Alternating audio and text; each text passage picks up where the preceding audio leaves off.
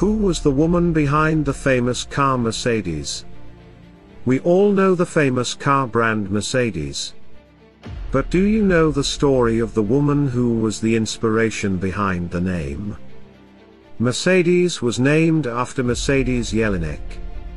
She wasn't the founder of the car or owner of the company.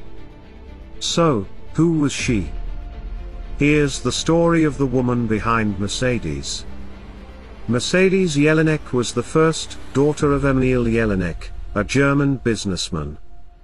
Mercedes was born in 1889. Emil believed that his daughter brought good luck to him. Growing up, Emil was always fascinated by the industry of automobiles. In 1896, Emil visited the factory of Daimler Motors, a German automobile manufacturing company. Emil bought one of their cars for himself.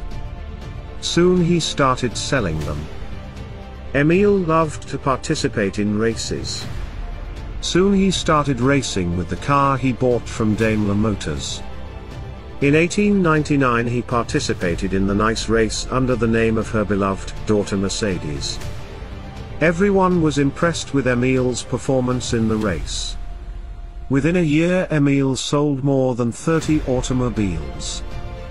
Sounds easy but it was a big achievement at that time. With time, Emil pushed Daimler Motors to build lighter and faster vehicles. If I can't get any more from a car than I would get from a horse and carriage, I might as well stick with the horse. With countless letters from Emil. Daimler started creating their own sports cars.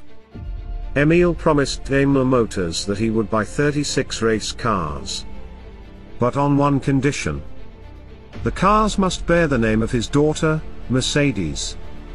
In 1901, Daimler launched the new Mercedes 35 horsepower. The car started dominating the nice races. Emil started selling cars all over Europe through agencies. Daimler's Mercedes became the best-selling vehicle all over the world. Newspapers called it, the Mercedes era. Emil's daughter Mercedes was just 11 years old at that time. Everything was going fine, but soon everything was about to fall apart. During the First World War, Emil got accused of spying. Emil's whole property was seized. In 1918, Emil passed away.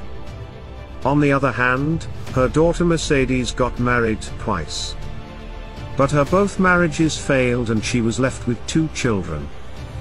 She had to beg from her neighbors to feed her kids.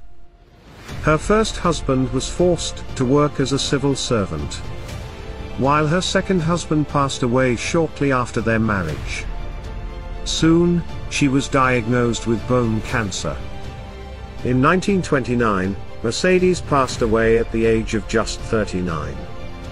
On the other hand, Daimler Motors merged with engineer Carl Benz's company. Their new cars were called Mercedes-Benz. Emil Jellinek's name was lost forever in the history. But his daughter's name still stays with the car.